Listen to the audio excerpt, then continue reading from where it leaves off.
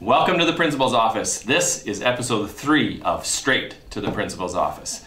It's a special episode. We are going to go on location today and check out the senior boys volleyball team as they prepare for provincial championships being hosted here at MUCC November 24th, 25th.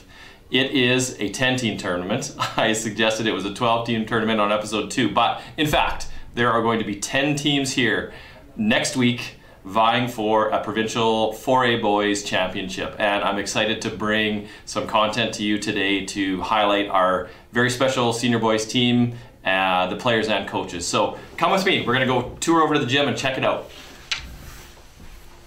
Buddy, you're a boy, make a big noise. Playing in the street, gonna be a big man someday. You got mud on your face, you big disgrace, kicking your can all over the place, singing, We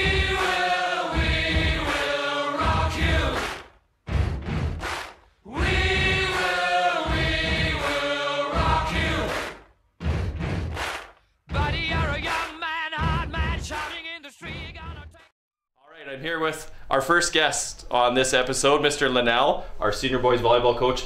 Mr. Linnell, thanks so much for uh, agreeing to come back and coach the team this year. It sure has been a huge help for us. Oh, you're welcome. Awesome. Mr. Linnell, could give us some highlights on uh, how you felt the season went with the team so far, and maybe some highlights of some exciting things that uh, that they've accomplished. Well, the whole season's been pretty exciting. Uh, strange fact: every tournament we have played in, we have lost to the team that have won the tournament, except for the John Paul tournament. We won that tournament, so it's been a really successful year to us. Uh, we've lost in a couple quarterfinals, lost in a couple semifinals, lost in a couple finals. So that's all been really good. Probably the highlight of the year would probably be the Lloyd tournament uh, because there were 18 teams there and out of the 18 teams there, we finished second. Uh, we lost to the number one ranked 3A team in Alberta, and they only have four divisions. So uh, that was that was pretty good, including we defeated the host team, which was um, Holy Rosary from Lloyd. So I think that was probably the highlight of our season, but the whole season's been really good. That's awesome. I've unfortunately haven't been able to watch the team, but I've I've seen them in practice, and I've I get a chance to talk to them in the hallways after a tournament, and, and they feel the same. They've had such a great season so far. So, leading into the weekend coming up, provincials, November 24th, 25th, here at MUCC.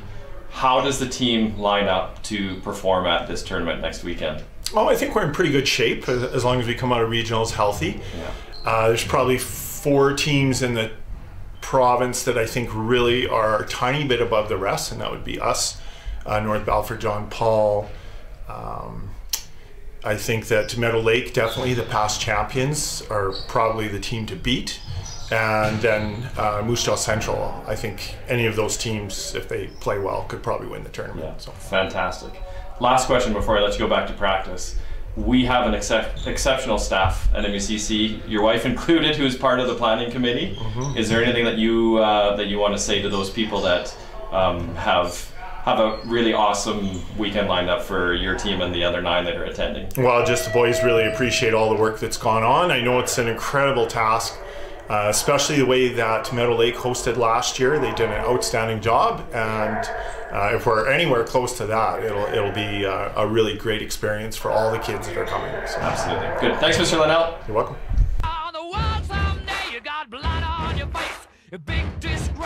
Big disgrace, waving your banner all over the place. We will, we will rock you. Sing it. Oh, we will, we... Okay, now we have two players from the senior boys volleyball team. We have Colton and Chris here with us.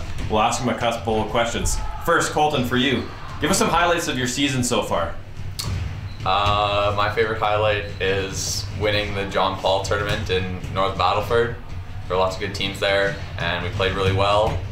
Um, I, I also thought one of my favorite parts was uh, playing in the Barons jerseys in Lloydminster because we forgot our jerseys. yeah. That's one. That's one that Mr. Hefner won't forget either. Yeah. awesome. Okay, Chris, your team is hosting the 4A Boys Provincial Championship next weekend. What are you looking forward to the most? Um, MUCC hasn't hosted provincials in a long time, and I think what I'm really looking forward to is just like everybody there and what it feels like to play at the home court and like test that theory on the home court advantage kind of thing. And the food, is there gonna be food? There's gonna be food. There's gonna be a canteen. Yeah, that's what I'm excited to. and I'm also excited about possibility of bringing home a number one W. Oh. yeah. We're going for the dubs here. Yep. Okay, boys. Well, good luck next weekend. Uh, I, I'm very excited to, to watch you play. Yep. Thank you. Well, from my perspective, I think that team is ready to go. We are really excited to be able to host 4A Boys Provincials here November 24th, 25th. Ensure that you can make some time to come out and watch uh, watch all the action this next weekend. Um, special thanks to all of the people that put together the, the weekend in preparation to host this tournament. Um, Mr. Heffernan, Mrs. Struby, our retired administrators, that put a pile of work into this, uh, Mrs. Linnell, and, and all the crew that we have here at MUCC. So we, uh, we hope that you can come out and watch. Come and share in the excitement of uh, 4A Boys Provincial Championship. See you next weekend.